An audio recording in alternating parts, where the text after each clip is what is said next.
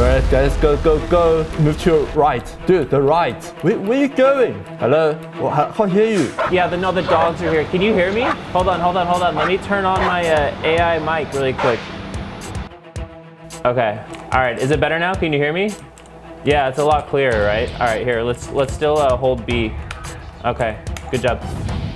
Hey guys, what's up? ROG Social Guy 1 here.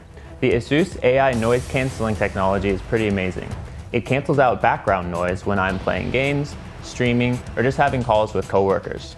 In addition to the hardware-based version found on the new ROG headsets, the latest ASUS B550 motherboards also feature a software version of this same tech that supports 3.5mm USB or Bluetooth headsets. Take a listen for yourself. The difference is pretty huge.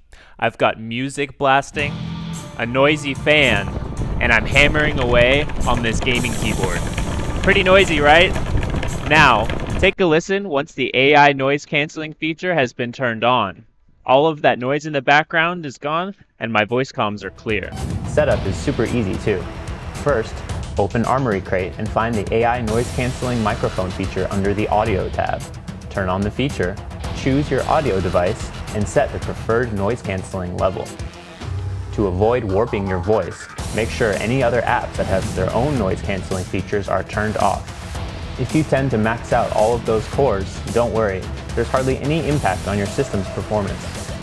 Now, just relax and enjoy your clearer communication.